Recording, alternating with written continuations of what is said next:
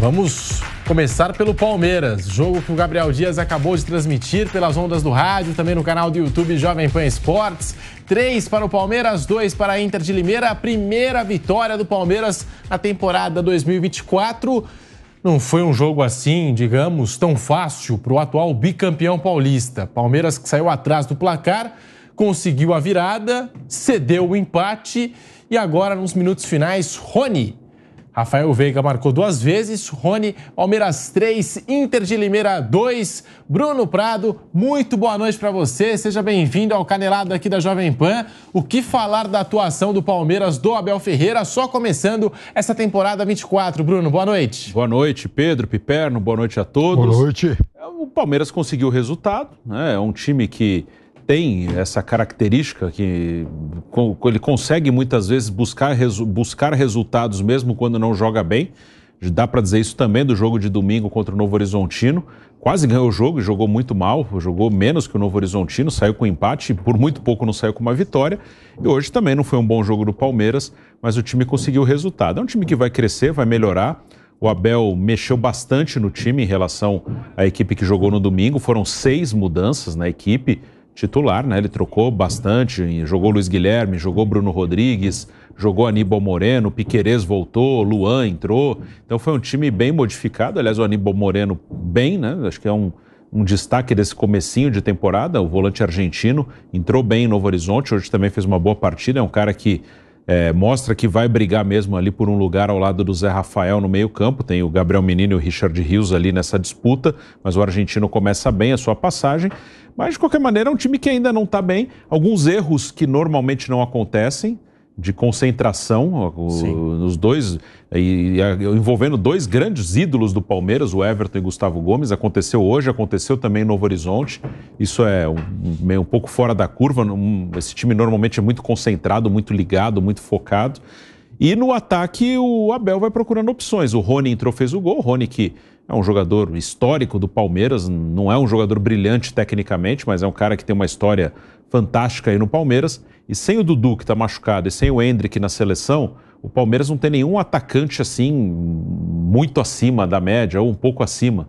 Né? Mesmo o Rony, que é o, que é o único consolidado entre esses aí que estão revezando, o Rony já está na história do Palmeiras, mas o Rony tem as suas limitações, tem os seus altos e baixos. Ele se destaca muito pela dedicação, pela luta, pela garra. Hoje acabou fazendo o gol da vitória, mas Bruno Rodrigues chegou agora, hoje não fez boa partida. O Breno Lopes a gente conhece, já ajudou o Palmeiras, mas tem as suas limitações. O Flaco Lopes oscila bastante. Então, nesse momento, sem o Hendrick, sem o Dudu, o Palmeiras está sofrendo ali no ataque, né? Tanto que o Veiga fez três dos quatro gols do Palmeiras. Mais uma vez, o Veiga vai assumindo a artilharia do time na temporada e já foi o artilheiro do time na temporada passada.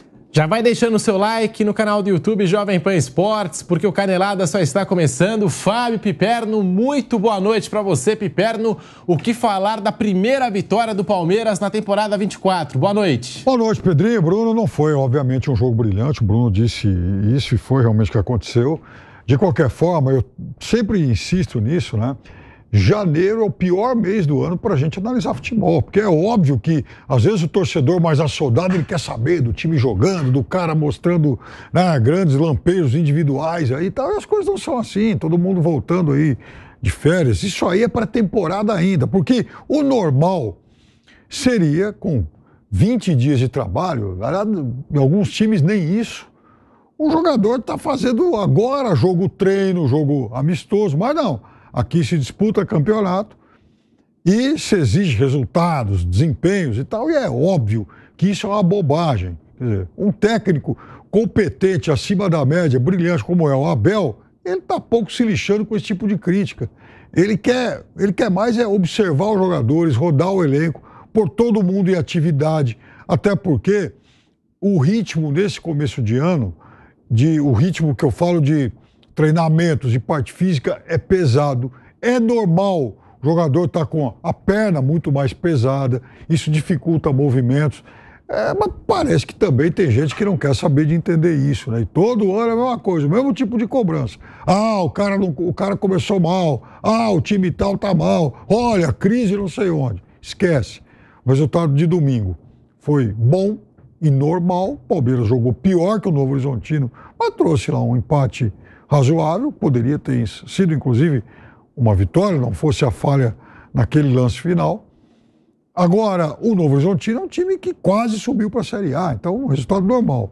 Hoje, era um Palmeiras com seis alterações, portanto, um time que não tinha nenhuma força de conjunto, contra um adversário aguerrido, que fez um gol no comecinho, estava bem montado. A Inter fez uma boa partida hoje.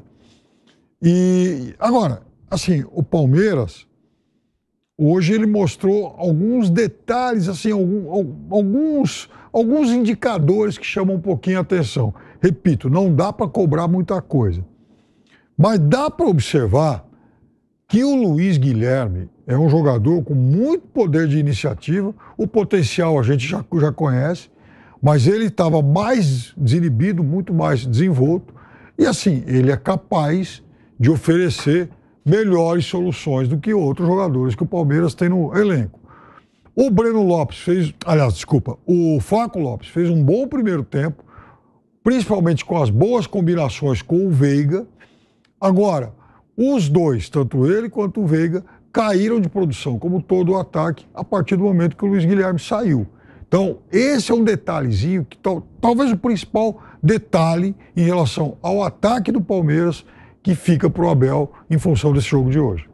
Claro que a temporada só está começando, foi o segundo jogo do Palmeiras, mas convenhamos, Piperno, Bruno Prado, a defesa do Palmeiras, o sistema defensivo desse Palmeiras ainda está de férias. Palmeiras que cedeu muitas oportunidades para o adversário.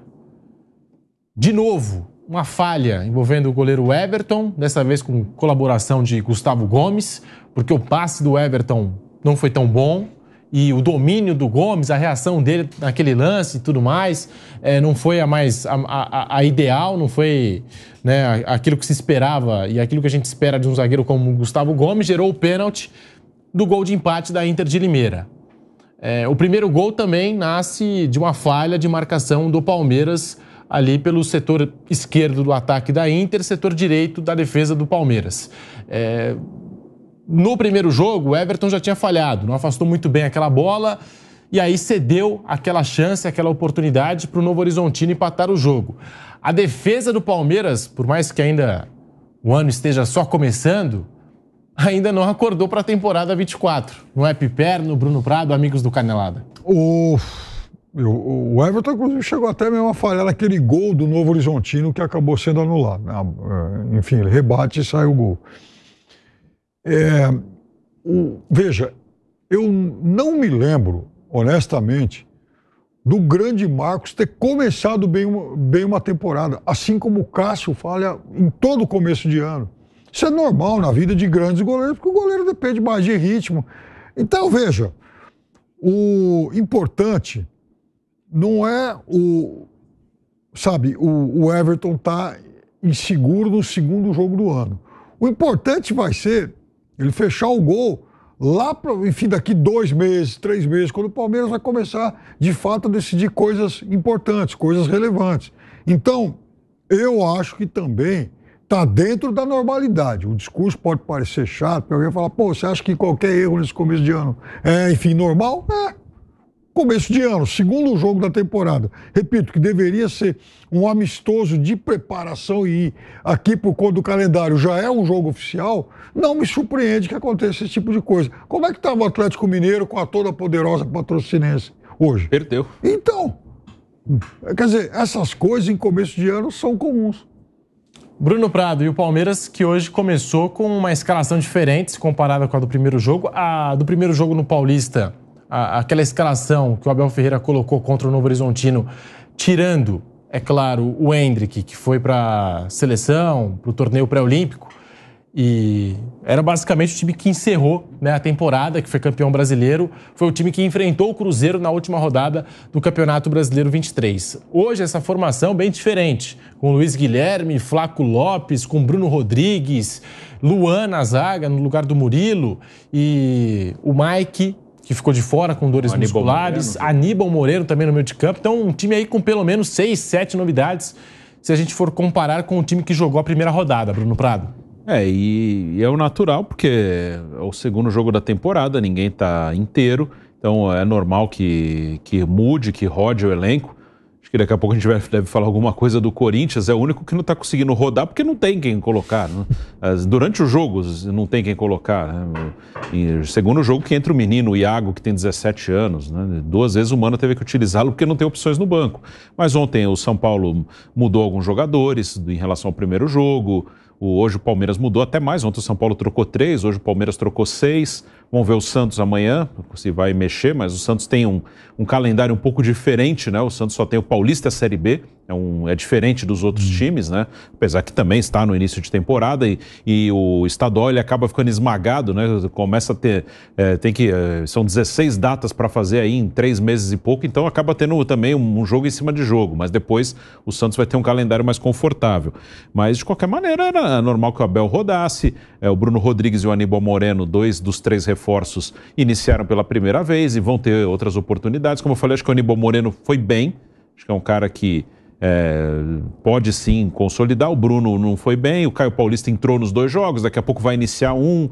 Então o Abel vai trocando. O Abel está aí há mais de três anos, então ele já montou e remontou esse time várias vezes é, por saída de jogador, por um mau momento, por uma troca é, no sistema, uma troca na maneira de jogar, até mesmo na reta final do brasileiro ali, depois da eliminação na Libertadores, ele trocou o time, trocou jogadores, trocou a maneira de jogar. Então, para 24, a gente ainda não sabe exatamente é, qual vai ser a versão do Palmeiras, que pode ser modificada durante o ano, como aconteceu no ano passado. Né? Ele começa mais ou menos com a base que terminou ano passado, que é o natural, e aos poucos ele vai observando: ah, isso aqui encaixou melhor, esse aqui está bem, esse aqui está um pouco abaixo. Então, ele vai fazer essas experiências. Acho que no próximo jogo ele vai trocar mais alguns jogadores, talvez os que repetiram aí, Marcos Rocha, Zé Rafael, Veiga, o Gustavo Gomes costuma jogar todas, né? Mas esses que jogaram duas seguidas, talvez descansem no próximo. Isso o Abel vai fazer mesmo nesses primeiros jogos.